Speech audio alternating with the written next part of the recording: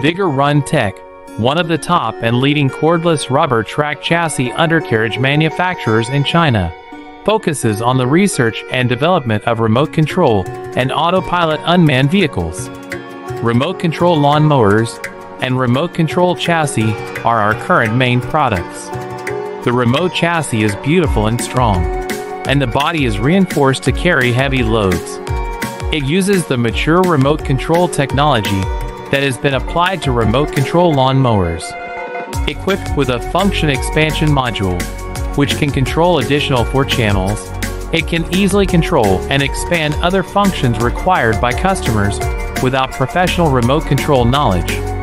On the basis of our chassis, you can freely add other functional modules to create a new vehicle that meets your own needs.